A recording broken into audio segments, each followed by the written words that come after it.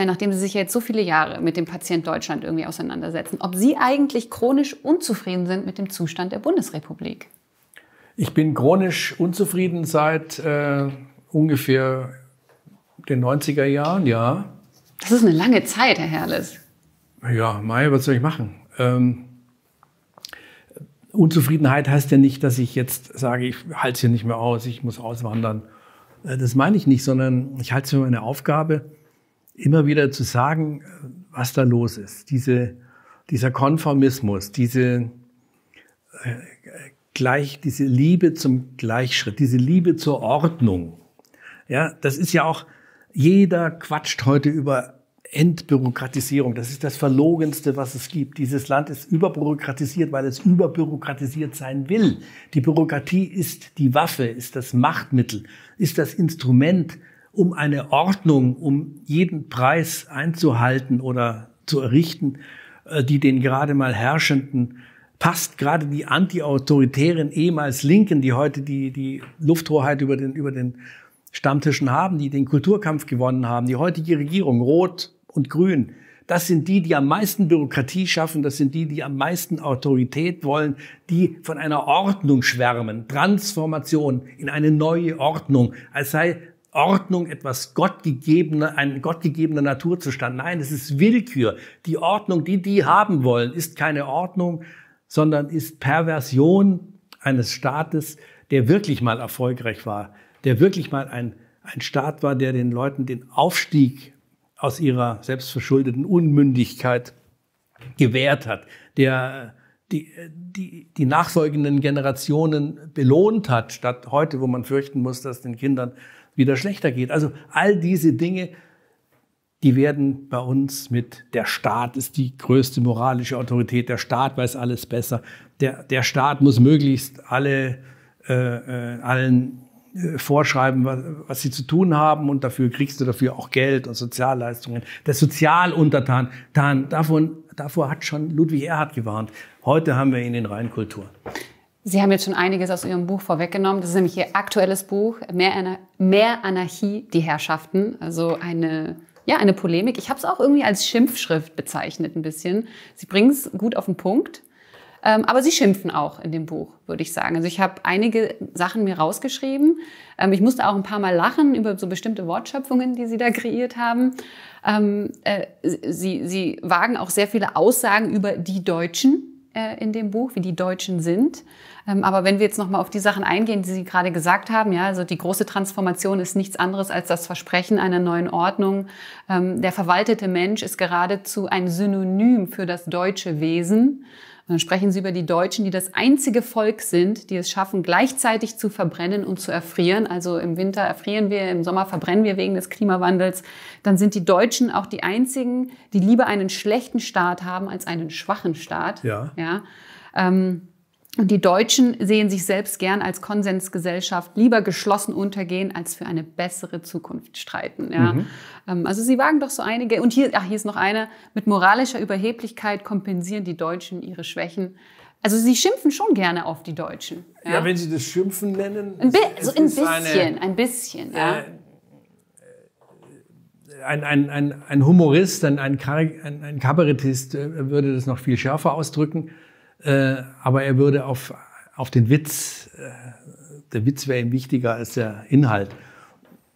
Ich äh, glaube, ich stehe in der Tradition äh, etwa von Karl Kraus, den kennt man in Deutschland fast nicht, in Österreich ist er ein Gott. Ähm, das war ein großer, völlig unabhängiger Zeitanalyst, Analyst, aber eben seine Mittel waren die Polemik und die Satire und die Überspitzung und etwas auf den Punkt zu bringen. Das ist das, was ich will. Ich will nicht schimpfen, sondern ich, ich will mit einer möglichst knappen Genauigkeit die Achillesferse treffen. Mhm. Ich würde sagen, das haben Sie in diesem Buch auf jeden Fall gemacht. Das ist sehr einfach zu lesen und sehr unterhaltsam. Im Vorwort, finde ich, gehen Sie ja schon ziemlich hart ins Gericht. Sie schreiben, dieses Buch will die Schafe ermuntern, ihre, ihr politisches Phlegma und ihre Folgsamkeit zu überwinden und sie dazu anstiften, manche werden sagen, dazu aufzuhetzen, sich einzumischen, laut zu werden und den grünen Spießbürgern zu widerstehen. Ist es an dieser Stelle eigentlich richtig, von Schafen zu sprechen? Das Schweigen der Lämmer ist äh, das Hauptproblem unserer äh, misslichen Lage. Die Leute ballen die Faust in der Tasche, ziehen sie aber nicht raus.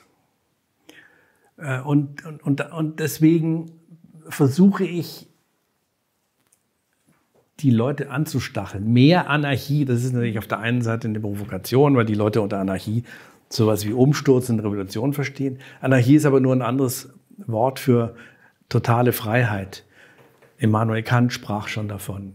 Also der Anarchist, der gehört nicht den Linken, sondern das ist meine These, daran versuche ich mitzuwirken. Der Anarchist kann, darf, muss heute ein bürgerlicher Anarchist sein.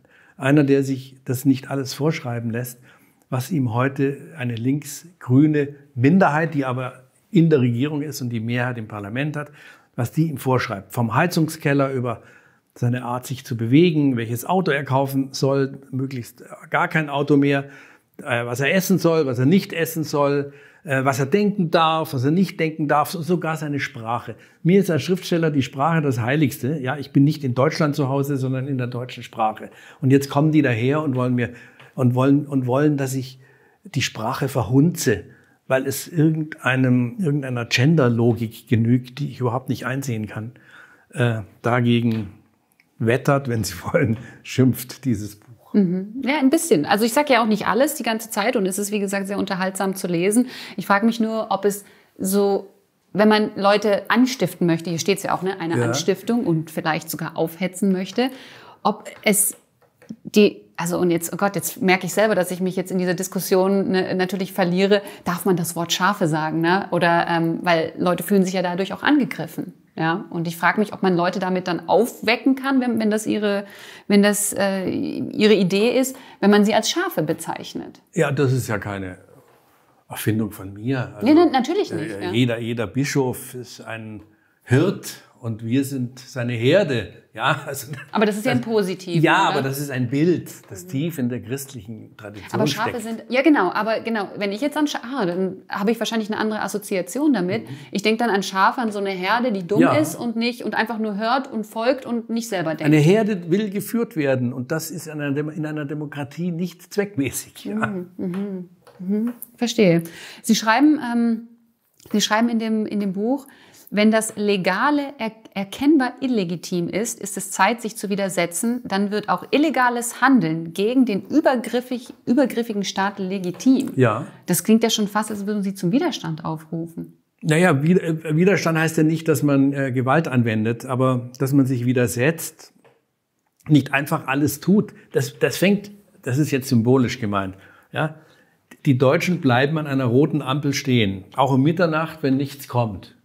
Ich bleibe grundsätzlich nur stehen, wenn etwas kommt. Das Selbstdenken äh, wird dem Bürger vollkommen abtrainiert. Er soll tun, was man ihm vorschreibt. Und ich finde, man sollte sich zum Beispiel keine E-Autos aufschwätzen lassen, nur weil das irgendwie gerade gut in die Moral passt. Oder subventioniert wurde. Das war ja auch so eine Sache. So ist es, ja. Nur was nehmen, das ist ja wie, das ist ja wie so eine Hausfrauen-Sommerschlussverkaufslogik. Ja, nur, nur was nehmen, was billiger ist. Äh, also der, Wider, der Widerstand, viele, man wird ja heute auch für das Legale schon verfemt. Nehmen Sie die Corona-Maßnahmen. Es war für mich absolut notwendig, dass wer nicht ganz den Löffel abgeben will für diesen Unsinn, dass er sich nicht an die Maßnahmen hält, dass er selbstverständlich zu Hause Leute empfängt, Geburtstagsfeiern macht, äh, rausgeht, auch zu den Zeiten, wo es verboten war. Ähm, ob einer sich impfen lässt oder nicht, das ist Privatsache. Ist ja auch lange diskutiert worden, ob man daraus eine Pflicht macht. Äh, Corona war schon so ein ziemlicher Einschnitt, wo man gesehen hat, dieser Staat, der ist nicht nur deine Gouvernante, der ist nicht nur der, der dich behütet und beschützt, das kann auch dein Feind sein. In der Corona-Zeit, so weit würde ich gehen, ich nehme keine Silbe zurück, war dieser Staat mein Feind. Und das hat mein grundsätzliches Verständnis gegenüber dem Staat verändert. Da bin ich noch stärker desillusioniert worden, als ich es vorher schon war. Hat Sie das radikalisiert in gewisser Weise vielleicht auch? Nein, das hat mich natürlich nicht radikalisiert. Ich, Verbal vielleicht, jetzt nicht natürlich, dass Sie Verbal, jetzt den, Reichs, den Reichstag ja, stürmen ich oder bin, so. ich bin deutlicher geworden, das stimmt, aber ich würde das nicht radikal nehmen, ich, äh, nennen. Ich bin libertä noch libertärer, noch liberaler. Ich poche noch mehr auf meine Unabhängigkeit.